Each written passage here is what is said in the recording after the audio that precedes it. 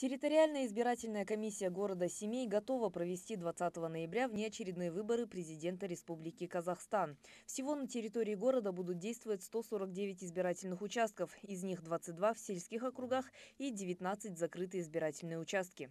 Также в этот день в качестве членов избирательной комиссии будут работать 1056 человек. Они прошли специальные курсы и получили сертификаты. Председатель территориальной комиссии города Семей отметил, что в центре внимания ответственное проведение политической кампании.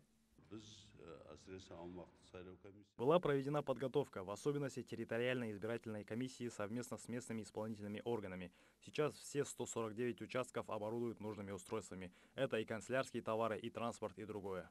На избирательных участках создаются все возможности для равного голосования граждан. Проводится ежедневная работа и определен список голосующих.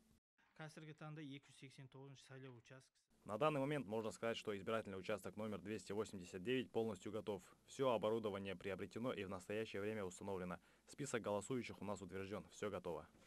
Каждый казахстанец имеет право сделать свой выбор. Члены территориальной избирательной комиссии также призывают жителей не закрывать глаза на политически значимые события.